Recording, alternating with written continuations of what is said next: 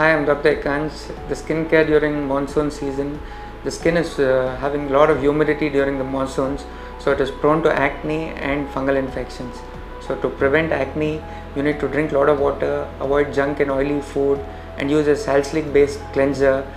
And for fungal infections to be avoided, you need to see that you are removing all the hair from that area, wear loose clothes, and apply antifungal dusting powder. In case if the fungal infection is not coming down, you can see your dermatologist. He'll suggest you few tablets and creams. And in case of old people, as the top layer of the skin is gone, they are more prone to dryness. So to, to prevent this dryness, you need to use a good moisturizer after shower.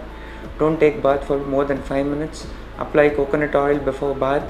Use a mild soap such as Dove or Pears and normal skin routine during the monsoon is to apply a very good sunscreen containing at least 15 SPF and a good moisturizer at night. Thank you.